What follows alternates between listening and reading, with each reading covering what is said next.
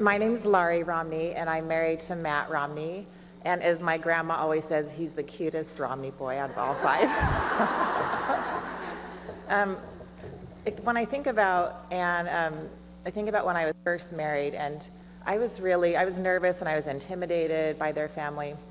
And I remember one day, this is when I was just dating Matt. We were in their kitchen, and I walked by and I saw this perfect looking peach pie on the counter with a lattice top, and I, just, I literally thought to myself, I cannot marry into this family because I could never do that.